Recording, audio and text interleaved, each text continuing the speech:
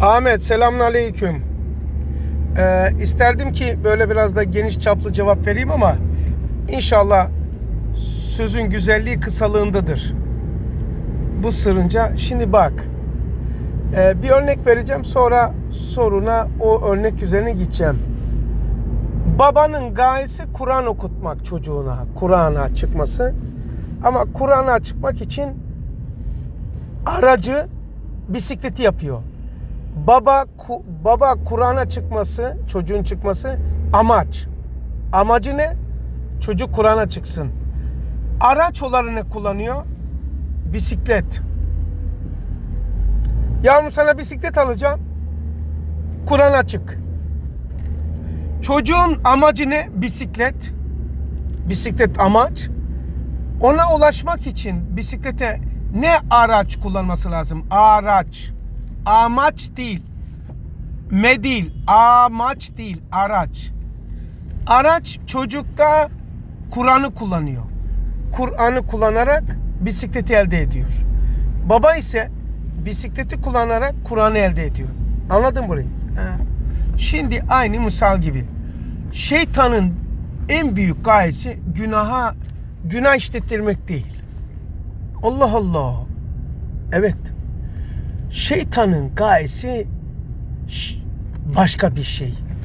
Ama o gayesine, amacına araç olarak günaha kullanıyor. Peki nedir? Şeytan günah işlediğinden şeytan mı oldu? Şeytan kovulmasına sebep işlediği günahtan mıdır? Ee, nedir o? Bak şeytan e, gurur kibiri var ya gurur kibirinden dolayı Allah'ın emrine isyan etti. Ondan sonra kovuldu. Şimdi sana amaç ve aracını söyleyeyim. Şeytanın amacı yeis, ümitsizliğe atmak. Araç olarak kullandığı, araç olarak kullandığı şey de günah. Kişiye der ki mesela e, bana diyor ben kendimden şey yapayım. İnsanlara özgüven dersi veriyorsun, anlatıyorsun. Yani bahsediyorsun. Bu insanlar istifade ediyor. Peki benle şeytan uğraşmadığını mı zannediyorsun? En büyük şeytan bizdedir. En büyük şeytan Kabe'de olduğu gibi. Nerede büyük hayır var, orada büyük zıt var. Şimdi benim özgüvenimi çökertmeden insanların özgüvenine zarar veremiyor. Çünkü bir şekilde bana güveniyor, güveniyorsunuz. Ben de böyle anlatınca kuyudan çıkıyorsun. Tamam abi. Şimdi senin günahların günahların senin yeise atmasın. Şeytanın gayesi yeis. Yeis ne demek? Ümitsizlik. Ne yapar? Şöyle anlatayım. Yeis ne yapar? Yeis Adem'e atar, günah cehenneme atar. Şöyle de biraz da genişleteyim. Taşören şirket var. Belediyede bir ana kadro var bir de taşören şirket var. Cehennem genel bir şey olduğu için e, kavram Kur'an'da bahsediliyor. Diğerini diyemiyorlar, denmiyor. Cehennem nereye çalışıyor biliyor musun? Taşören şirkettir. Adem'e çalışıyor. 11. şuada geçiyor. Ustad Hazretleri'nin Şualar kitabının 11. Yani cehennem bile taşören şirket bir yere çalışıyor. Nereye çalışıyor? Adem'e. Adem. Adem alemleri. Ustad der ki Adem alemleri subhanallah subhanallah derken vücut alemleri elhamdülillah elhamdülillah der. Yeis ile Adem'e günah ile cehenneme insan düşüyor. Mesela hangisiyle yok edilir? Şimdi üçüncü şuayı hatırladın mı? Üçüncü şuada münacat var. Münacat nedir? Örnek vereyim uygulama. Ey şiddeti zuhurundan ve azameti kibriyasından tesettür etmiş olan Zat-ı Akdes. Resul-i Ekrem Aleyhisselatü Vesselam'ın talimiyle kulağının desiyle anladım ki böyle. Hatırladın mı? Üçüncü şuada münacat var. Allah'ı tavsif ediyor. Münacatta istek yok. Allah'ım bana bunu ver.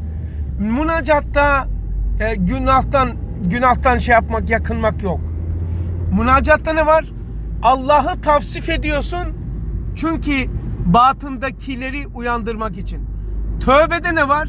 Allah'ım beni affet. Allah'ım onu bana ver. Allah'ım bunu verme. Ha, gün, tövbe budur. Münacat budur. Ha, şimdi bunu da uyguluyorum. Yeis'in çaresi münacattır. Günahların panzehri çaresi derken günahların panzehri de tövbedir. Yeis'e yeis mani her kemaldır. Onun için şeytanın en büyük sıfatını Kur'an'da söylüyor. Zaten Kur'an açık meali şudur bakın. Diyor ki kafirler kimlerdir? Allah'tan ümidini onlar keser diyor. Müslüman keser mi? Kesmez. Şimdi Kur'an'ın dersinde de şöyle var. O Müslümanlar ki günah işlemezler demiyor. O Müslümanlar ki asla yeise kapılmazlar. Onlara korku da yoktur ve ümitsizlik de yoktur diyor tamam mı? Bak dün okundu. Dün bilmana hadisi söylüyorum. Peygamberimiz aleyhissalatü vesselam Efendimiz bilmana söylüyorum. İki düşmanınıza dikkat edin diyor. Birisi öfke, birisi yeis. Öfke balon gibi sendeyken, uyanmazken sen ona hakimsin. Ama uyanınca sen onun içine giriyorsun.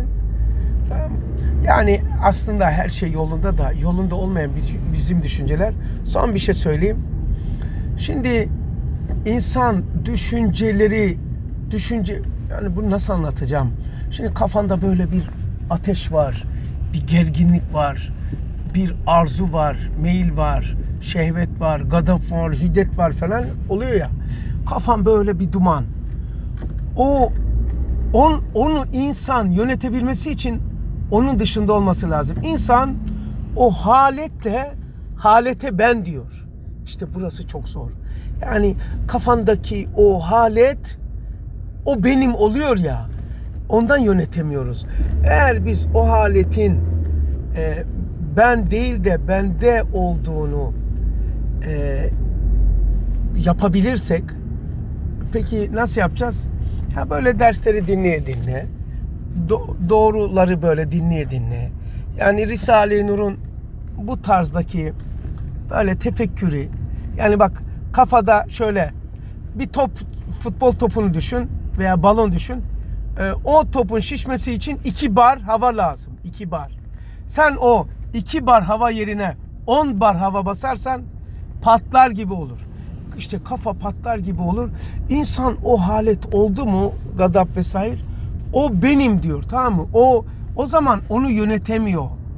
Yani onun içinde kendisi. Onu yönetemiyor. Ee,